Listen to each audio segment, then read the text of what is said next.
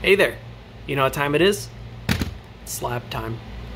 Uh, I just reshelled this thing extremely recently uh, with this home printed shell, and it's nice and all, but unfortunately I made a few little uh, whoopsies when assembling it, and quite frankly, home printed shells are they're alright, but why use a home printed shell when we can use a professionally printed shell?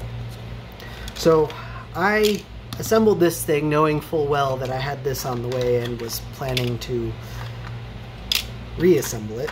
Um, I actually ordered this in two different finishes here, but I really like how this one came out for comparison.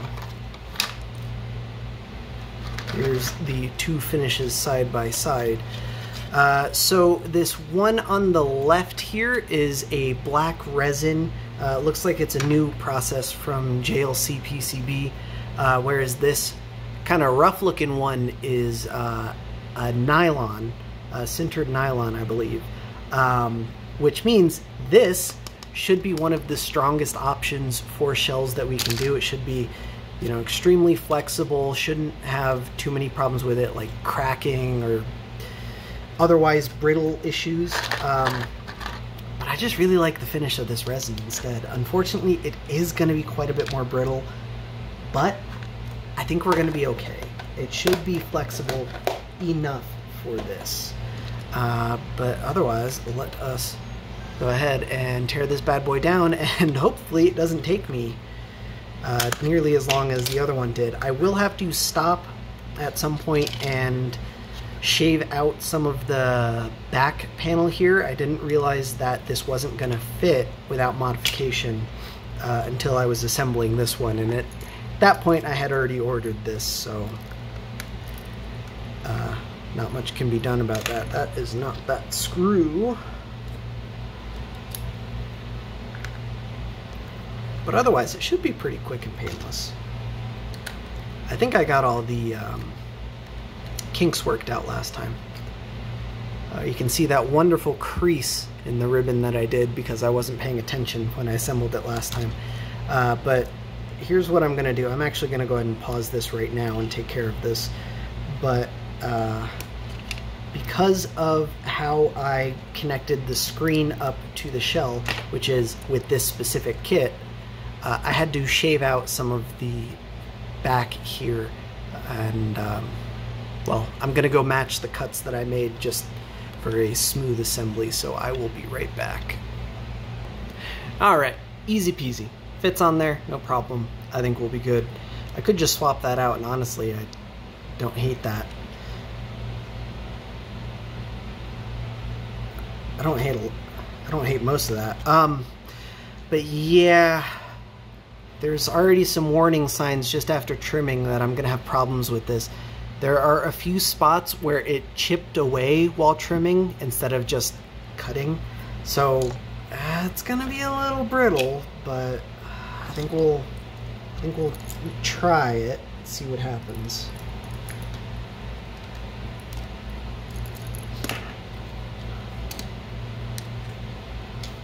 Otherwise it shouldn't be too bad. But we'll find out, I guess. Uh, one of the problems I was having with my home printed, this red shell here, uh, I didn't like the finish on the cart slot. overhangs. Um, that's kind of par for the course for FDM printers, especially if you don't have yours as calibrated as uh, might be required for something like this. Oh dear, I forgot that's wired up.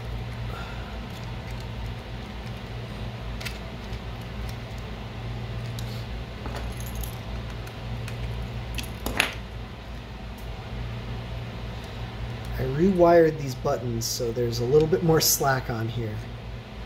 So we should be good to go. Oh, and should I switch to the nice and shiny tray? Might as well.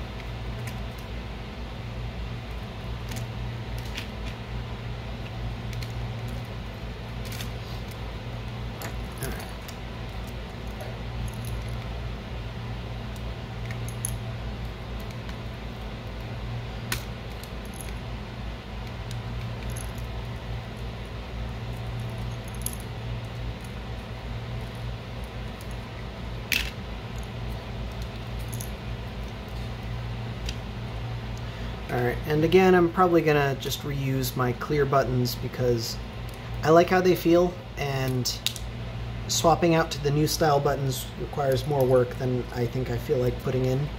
So, I'll just stick with it.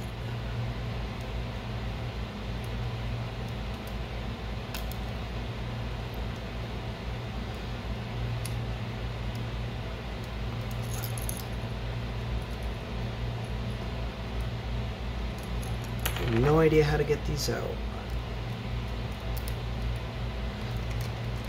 And I figured it out at one point.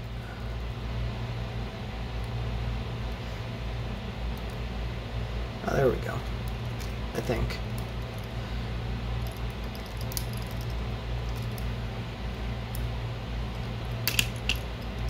Uh, and I broke one of the wires. Okay.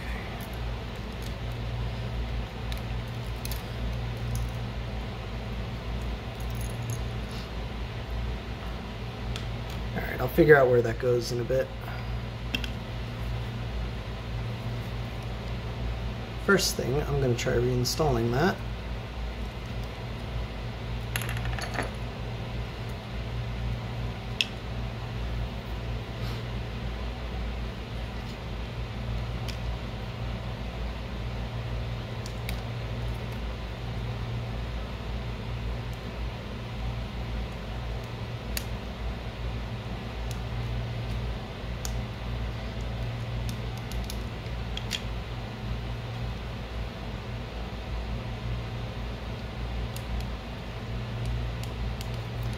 Alright.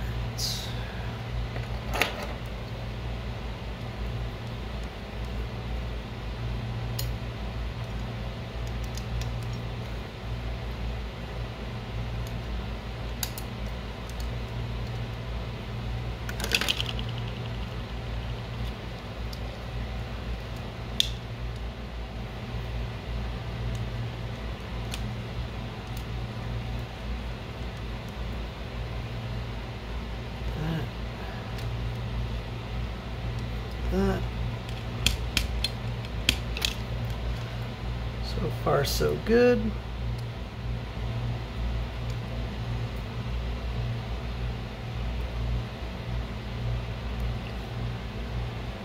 That is the ground. So that probably needs to go right there. Oh, it broke off. This was one wire, not two. Oh, it's going to be really annoying to reconnect.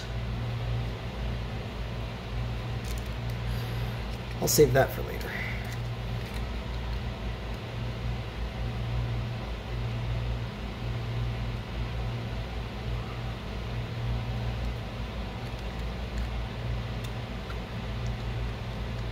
Alright.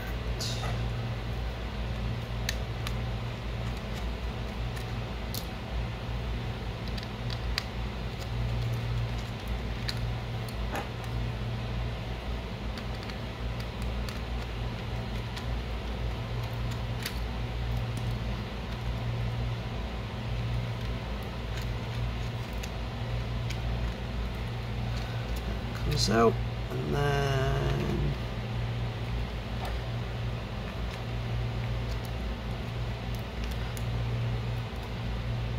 this little screen assembly. Come on.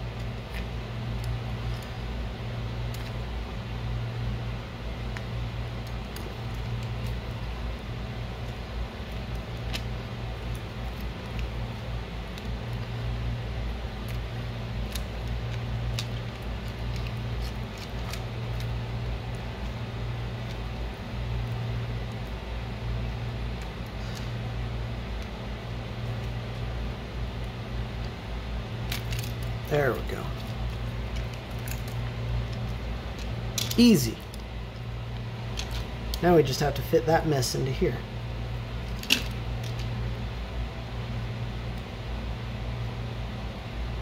Grab my light pipe and see if this fits any better in here. And oh my god, it fits so much better, it's not even funny. Uh, I'm gonna go ahead and glue it in though. Just because last time I was assembling this thing, that is one of the pain points I had. Every time I would move, like manipulate the shell around, that stupid thing would fall out, and it would frustrate me to no end. But, if we come in here with a little bit of hot glue, just, just a little bit, I think we'll be good.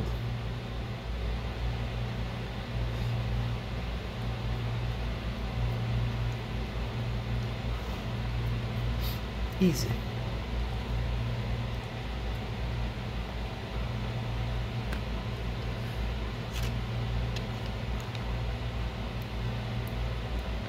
And now, I guess, let me find some matching buttons.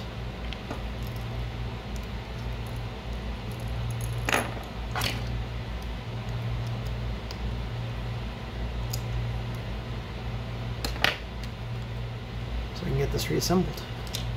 Easy. I'll be right back. Alright, while I really like the retro CNC buttons, I just simply don't have a matching set for Game Boy Pocket. Like I have one concave button and then one flat top button and that's kind of weird and like color coordination what color coordination? Uh, so I'm doing this because I think that looks pretty sweet.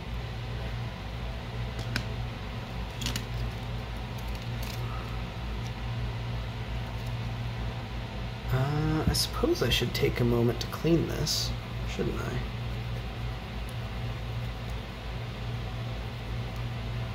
Since I can get all the way to the edges.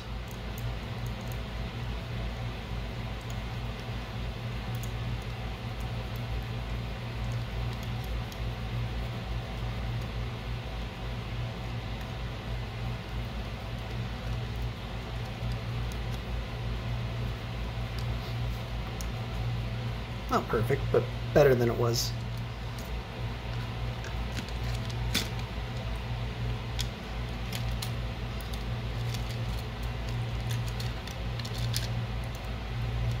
see if this goes in any easier this time around.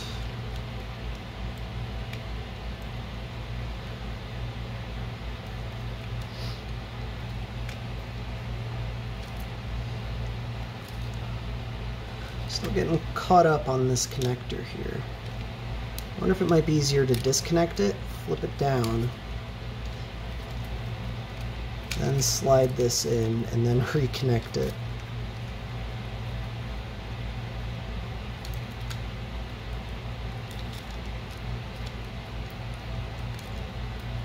Oh yeah, that was heaps easier.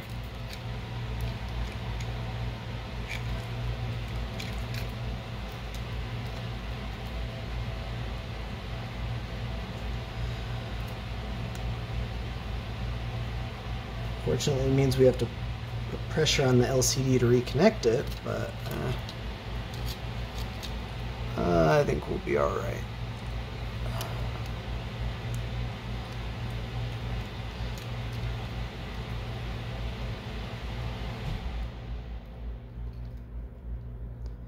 Maybe, if I can get this thing lined up. If you're doing a fresh install, like not just reshelling an existing build. This is probably easier because you won't have the rest of the freaking Game Boy hanging on. But there's a lot of soldered wires and it would be a lot of work to try and undo that. But then again, it's also a lot of work to try and get this stinking thing lined up. So who knows. You'd think I would have learned my lesson last time, but um, nope.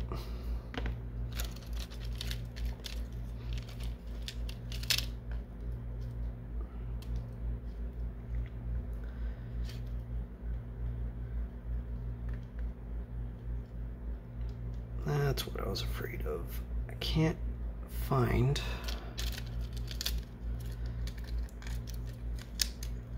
Oh, but I can flip that up. Oh, that makes my life easier.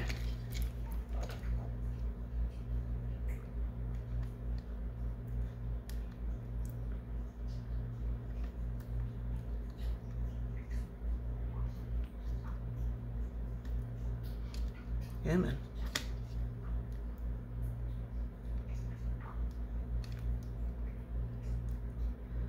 Alright, well, let me fuss with this.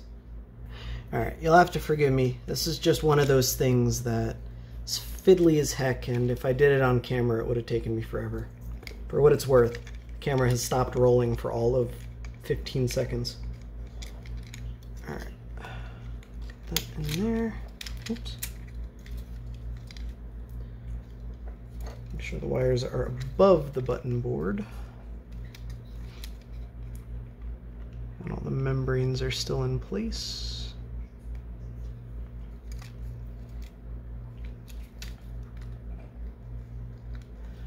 And then be good to go to reassemble this. Maybe. There we go.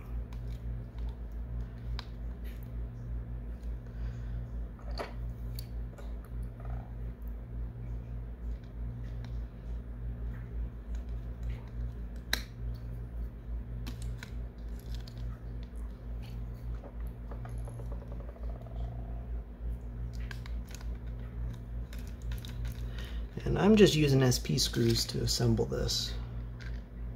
Nothing special.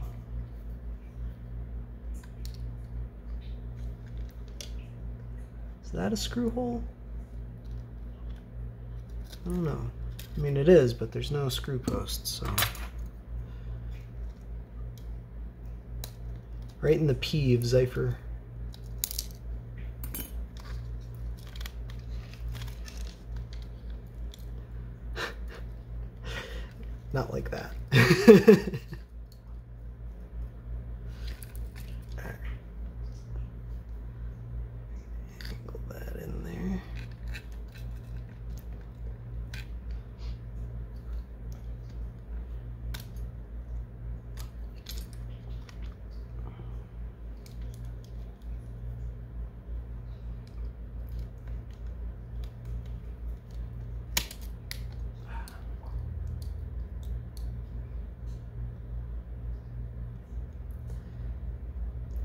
This screw right here is by far the worst one to install.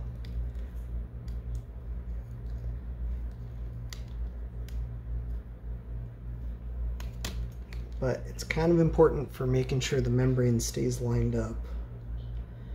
Um, I mean, once you once you get this thing sandwiched, it's probably not going anywhere. But I don't necessarily want to take the chance. Okay. Think we're good.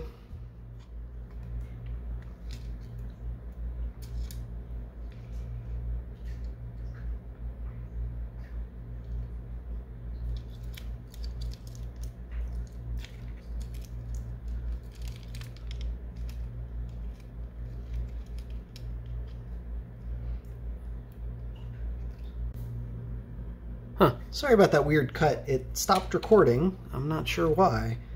Uh, maybe the phone's full. Um, but all you missed, I reattached the uh, broken shoulder button wire. Um, speculated that uh, I'm probably going to have to replace these shoulder buttons with how wobbly they are in this shell. Wow. Okay. Um, and then I went to pause to go look for the power switch and that's when I realized it stopped recording. So, whoops. Oh, I will also need a, whoops, a square nut for the battery cover. Let me go find one of those now. It's shocking how frequent this problem reoccurs for me. But might as well embrace the fact that I'm just gonna have to pull another one.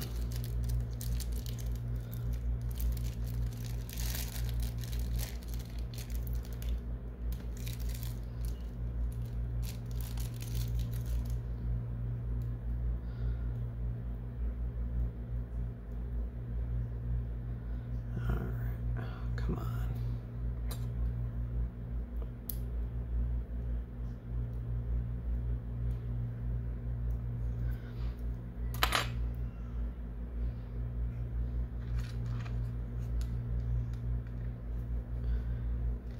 How in the heck are you supposed to reassemble that? There's no way this does not fall out when I try flipping it over, so more hot glue it is. Come on. There we go.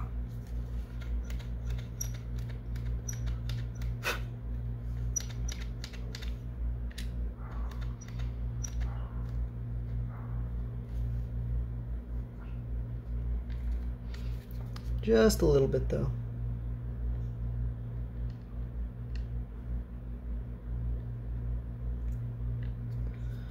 Nothing excessive.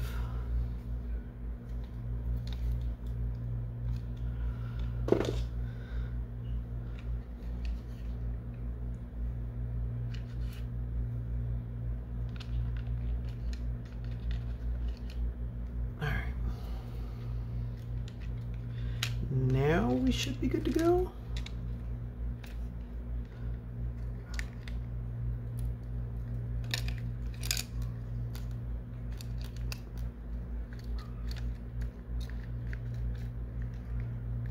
No, wait, wait, wait, wait, wait.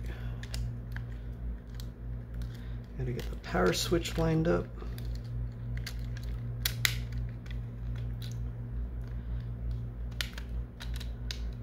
All right, all right. We're almost there. Just gotta tuck those wires in and we'll be good to go.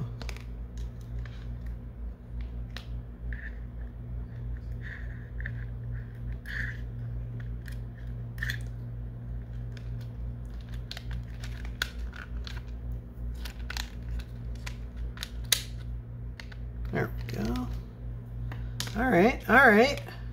It's going together.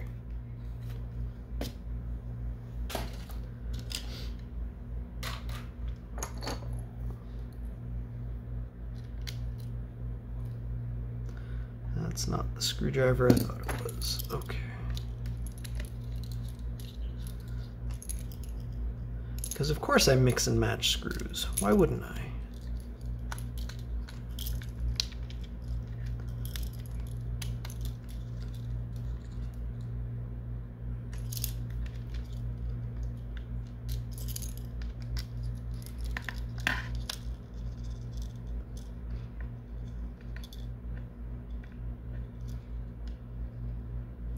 Oh, I forgot to turn the iron off.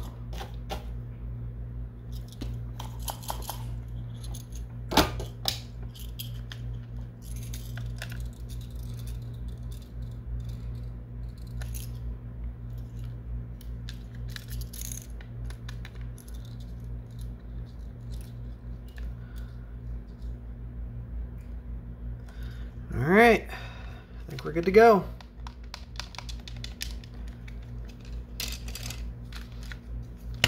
Oops.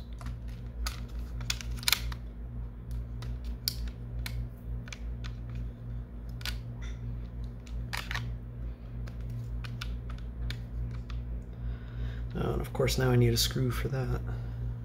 I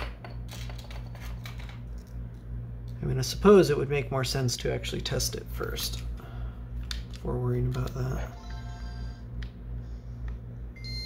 So far, so good.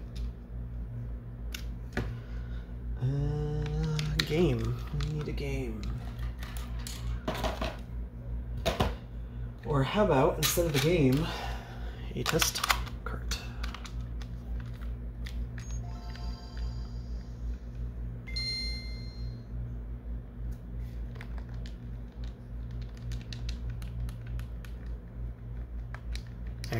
working this time around. That's better than last time. Cool, cool, cool. So now I need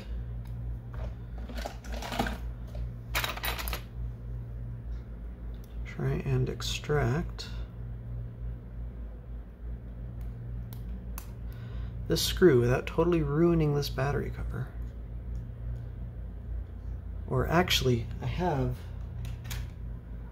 screws that'll fit this. I just have to find them. So, um, rather than pause this video again and go look for that, I think we're going to use the ultra high-tech solution of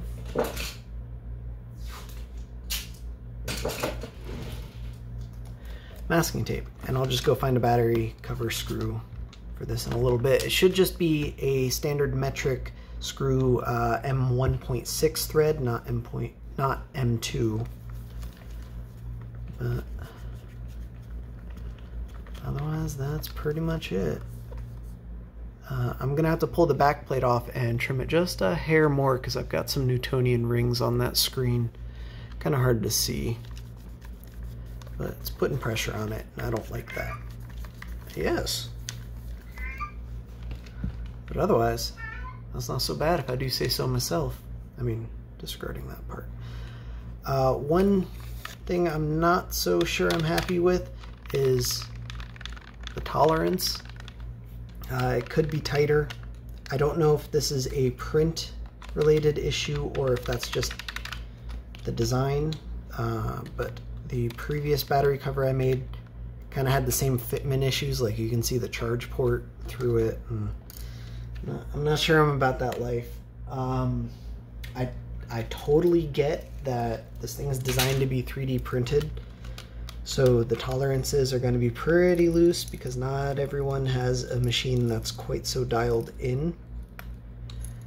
But, um, I don't know. Could be better. Ain't bad, but it could be better. Let me get, let me get a bigger tart, why don't we? That's what I have on my desk.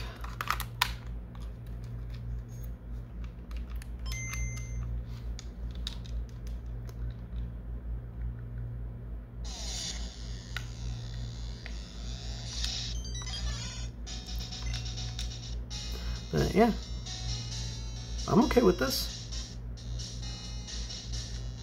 I think this is a lot better than the uh, home brew shell that I did. Uh, the buttons certainly feel a lot better. The B button on this shell kept getting stuck. I think the tolerances for the D-pad can come in a little too, because that's pretty loosey-goosey in there. But it feels fine, so I guess that's all that matters. I don't know. Got... Alright, forgive me. This time the camera was actually out of memory, but I've got that fixed. Um, got the battery cover taken care of too. I had time while memory was clearing up to get another screw and file it down uh, rather than trying to pluck this thing out because I will probably use it eventually, but I have no idea what I'm going to do about the square nut. Anyway, got our battery cover installed.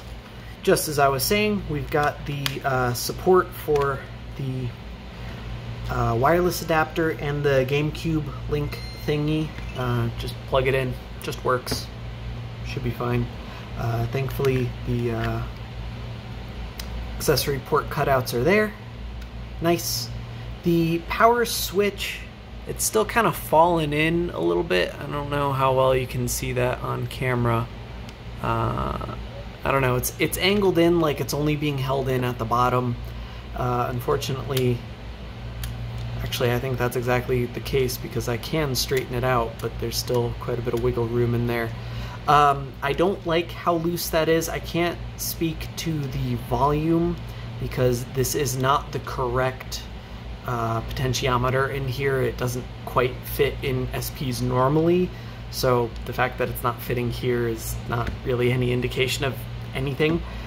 Um, but otherwise, the fitment is pretty good everywhere else. Um, I don't have any major problems with it. Uh, would be nice if um, I don't know, it's, it's kind of fiddly to assemble. There are things here and there that I think are looser than they need to be and other things that are tighter than they need to be.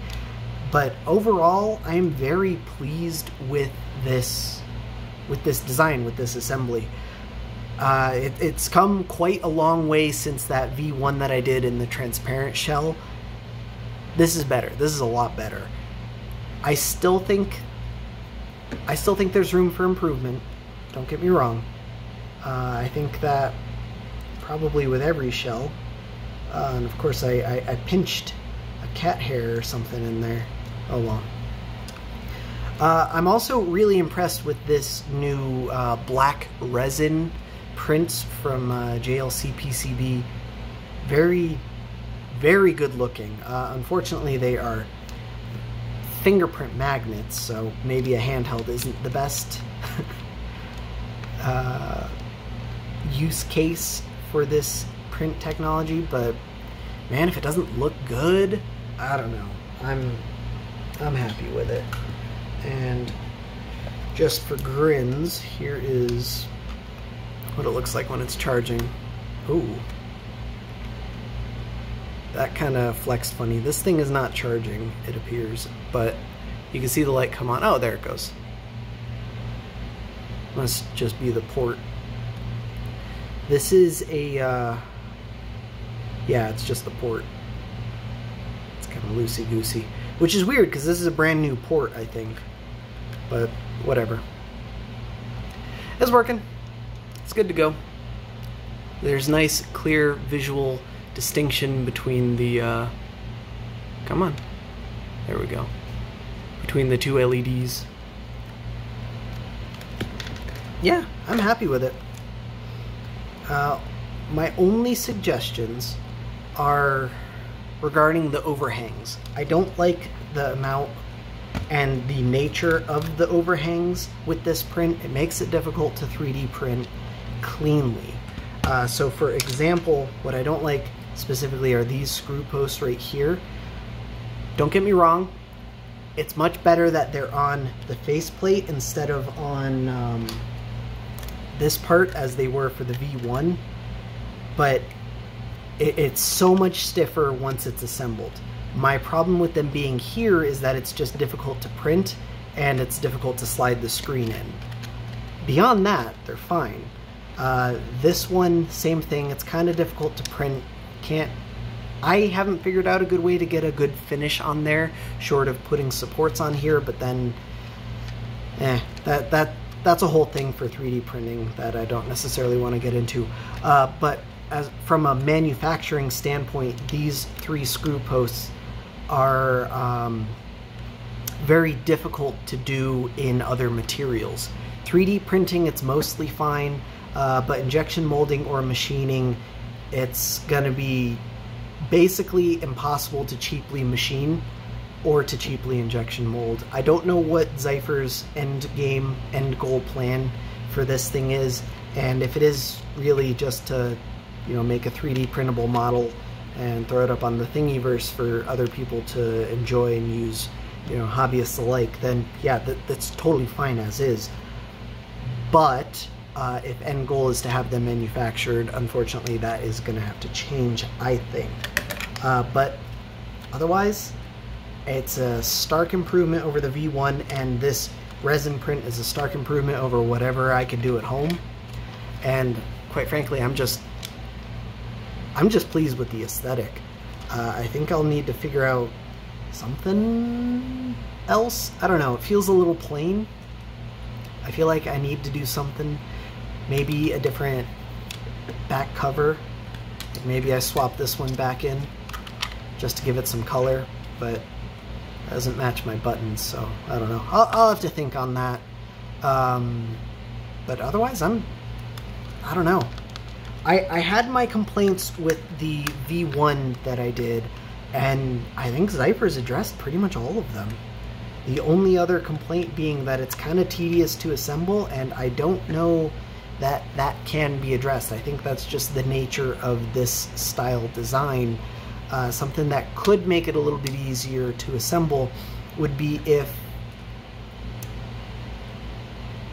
oh yeah here's an idea uh, instead of mounting everything to the faceplate we mount everything to the back plate and then drop the faceplate on with the buttons and the screen there um, it would it would require a total redesign from how this thing is currently structured, but I think it would make it a little bit easier to assemble. Uh, it would also probably mean it needs to be printed in more pieces than it already is. But at the very least, I don't know. Uh, only other thing I can think of, and I don't really want to get into this, but I think it's worth mentioning. Humble Bazooka uh, looks like they. they're trying to think of a way to word this that's not going to get me in trouble because no matter what I do, I think it's going to get me in trouble. But Humble Bazooka had an iteration um, of this design that uses a uh, PCB. You plug the Game Boy into the PCB and then you plug the backlight kit into that PCB.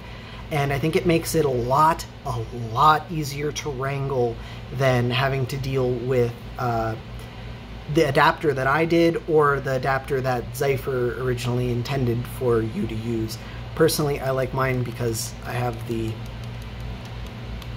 brightness controls the way they should be set up instead of having a useless brightness button that serves literally one purpose. Because for the most part you get your brightness where you want it and then you leave it.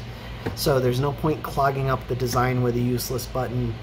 Um, and it's not like you know oh yeah but it's easier to solder. Yeah you're doing a lot of soldering for this thing anyway so what does it matter how easy it is? It's two extra wires. Um, and the only other thing I could think of that might make this a little bit easier is, like I said, with that PCB design that Humble Bazooka was selling, was. Uh, it looks like they discontinued it after um, had a word with them. Uh, maybe using like pogo pins on that PCB, you screw it into the Game Boy Advance SP PCB itself. You know, you screw the two PCBs together and there's just pogo pins hitting all of the buttons so you don't have to do nearly as much soldering. Uh, of course, you need like a 3D printed frame to kind of hold everything in place, but I think it could work. It's, in fact, it's something that I had planned on looking into myself, but at this point, that's probably not happening. So here's a free idea for the world to uh, use as it will. Um, so the inspiration I think for that style design would be like that Intech uh, Game Boy Advance HDMI thingy.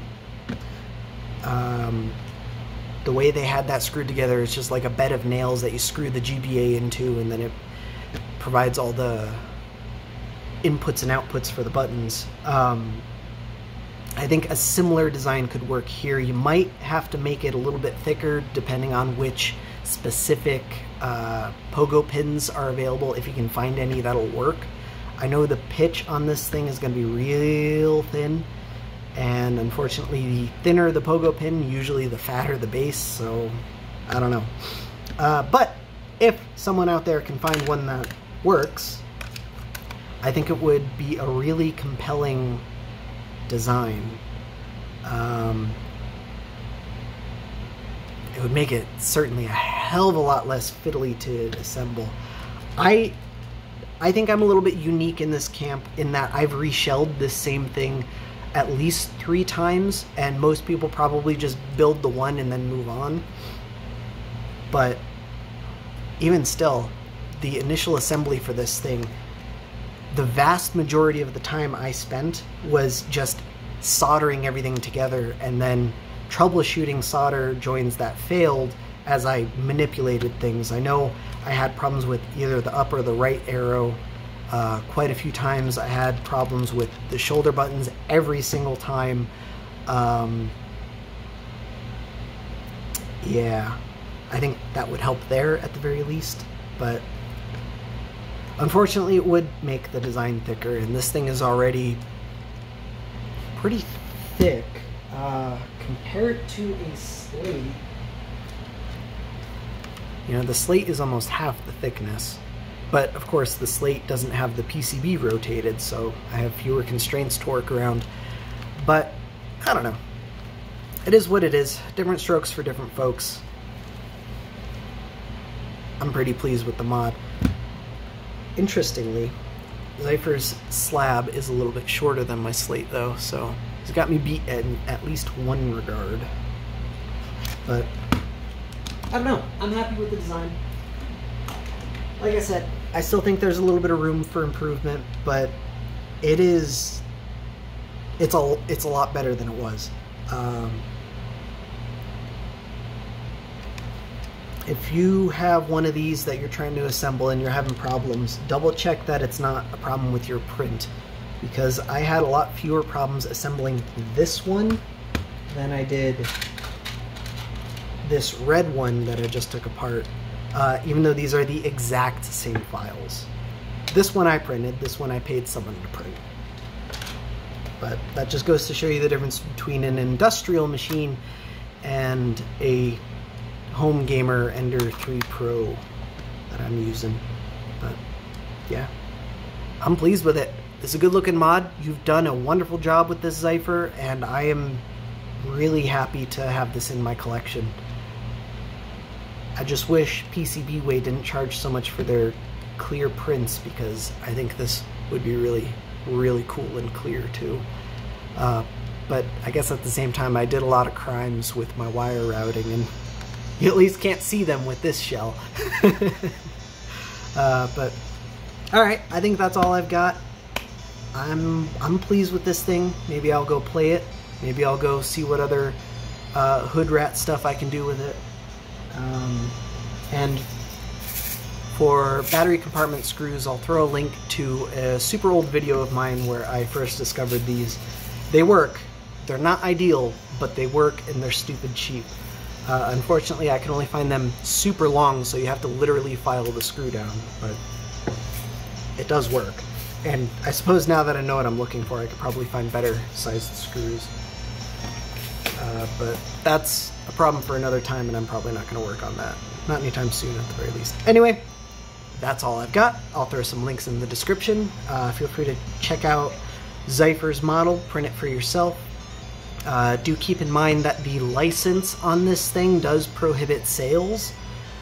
Uh, so the intent, I believe, is for hobbyists to build one for themselves to enjoy, not for businesses to snap up the files and print for other people. Uh, if you don't have a printer, you can get these things printed very easily on um, online printing shops like what I did for this.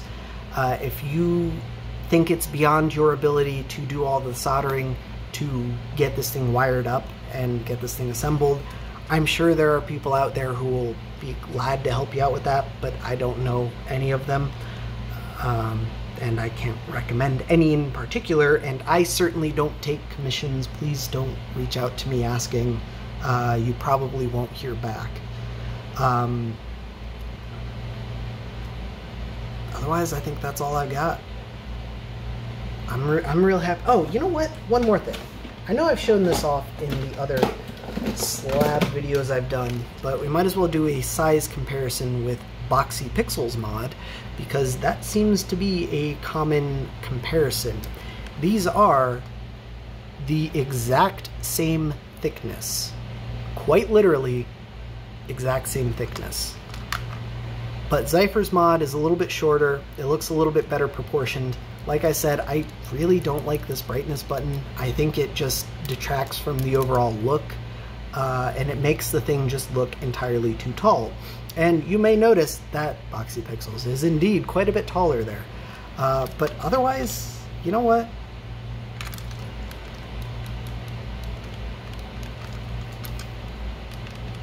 Feel pretty similar in the hand. Uh, the shoulder buttons are a lot higher on Xipher's mod, of course, compared to Boxy Pixels. But that's one of the things you get when you rotate the motherboard, because um, you have to offset them a little bit. But anyway, I think it works out. I think it's good. The single only thing you don't get with Xipher's mod over Boxy Pixels uh, would be the extended capacity battery storage. Um, but I guess I guess let's talk about that. And I suppose you don't get the USB-C mod or the headphone jack, which, quite frankly, I don't care for either of them. I mean, USB-C is nice, but you can just replace this port with USB-C. It doesn't like you can you can do the same thing on both of these. It doesn't matter. Uh, you don't get the brightness button, but you know, boohoo. Um, personally, I like the tactile buttons a little bit better than the Game Boy Pocket buttons. but I don't like these buttons. I prefer like actual SP buttons. These feel a little bit mushy. I don't know what it is. SP buttons feel a little bit more snappy and responsive. These are certainly fine, but compared to a actual SP, I think I think the actual SP is a little bit better. Um, if nothing else, the power switch is better on this than it is on Xipher's mod. Uh, but take a quick tangent into battery life. I see people um, praising Boxy Pixels mod because you can fit a 1700 milliamp hour battery in this thing. Barely, might I add. Notice that bulge. Uh, it's been like that since I had it, since I initially ordered it, because ba the battery Boxy ships doesn't quite fit in the battery bay he designed, but that's another point for another time. Um, you can, this is a lithium ion battery. There's no memory. You can recharge this anytime you want. So you got to think, you know, how long are you at? Well, I can't recharge this one anytime I want because I'm having problems with the port, but that's besides the point. Um, you got to think to yourself, like, how long are you actually playing this thing? Like, are you seriously going to sit down and play a 15 hour session? Nobody does that. I I don't know about you guys, but I certainly don't have that time anymore. I play for like 2 hour sessions, if that. Usually a lot less than an hour. You can just charge it after you're done playing. There's no there's no sense in making your Game Boy bigger and heavier just so that you can take it on a plane and not have to charge it throughout your entire vacation or, or, or something. I don't know. Whatever whatever you want to justify it yeah, I get it. There's an appeal to that. But, like, is it an actual use case that you can take advantage of? Because it's certainly not one that I will ever take advantage of. I don't go places. I can just charge my Game Boy when I'm done playing it. It's not, it's not a problem. And, you know what? I understand. You're probably sitting there thinking, oh yeah, well he's biased because he made a Game Boy mod that only takes stock size batteries. And yeah, maybe you're right, but I made this because this is what I wanted. Right? Like I didn't I didn't design this because this is what I thought people would want. I designed this the way I wanted it. And I personally don't see the benefit in having 15 hour battery life or whatever it works out to. Uh, I think I, I honestly have no idea what kind of battery life an SP gets these days. That's totally escaped me. Uh, but a Game Boy Pocket, you can expect, what, like four hours out of a modded thing uh, with regular batteries, three and a half to four hours. I think that's still more than long enough. I made a Game Boy Pocket Color, as it were, which is a Game Boy Color inside of a Game Boy Pocket. And I think I timed this thing at like three and a half hours, give or take. I have never once played it until the batteries were dead. When I'm done playing it, I charge the batteries, move on. And I do actually play this thing. I mean, you probably can't tell based on how dirty and disgusting the screen is, but realistically, all of my consoles look like that if I keep them on the desk. um, but yeah, I don't know. It is what it is. I guess that's a long rant. You could probably take the battery uh, compartment out of here, this thing, and then you can squeeze in a slightly larger battery because this, I mean, it's, it's, it doesn't take up that much space, but more room is more better, I guess.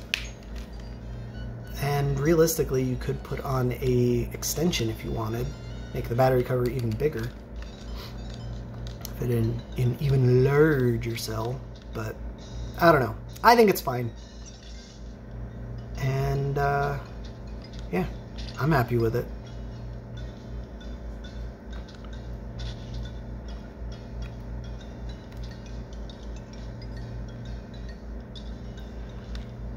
My inability to play pinball notwithstanding, but you know, I think that's I think that's besides the point. I don't know. I'm not gonna play this right now. I'll get totally distracted. Uh, yeah, that's all I've got. Again, I think I'm actually wrapping it up and ending here this time. Links in the description. Check out Xipher. He does good work. Um, really nice guy. I I'm very pleased with this, and you can just download his file off Thingiverse, get it printed, or print it yourself. Uh, you will need a Game Boy Pocket uh, input button input board. I don't know the best way to get those, but I know Natalie the Nerd sells them on her site. Uh, you can certainly use it for this. There's no weird spacing or you, you don't need Xipher's board. I used Xipher's board because he sent me one, um, but it's spaced for a standard pocket style board. In fact, if you've made one of these a pocket color, um, one of the methods for making one of these is cutting the bottom half of a Game Boy Pocket off. That would work here too. uh, I probably don't recommend cutting Game Boy Pockets apart now that we have boards for this, but I don't know. Your mileage may vary. To each, to each their own. Otherwise, that's all I've got. Thanks for watching, guys. I'm sorry I rambled so much this one. I usually don't do that. I do this a lot. I, I usually do this. so, I don't know. I'll catch you all next time. It was fun. Thanks for watching.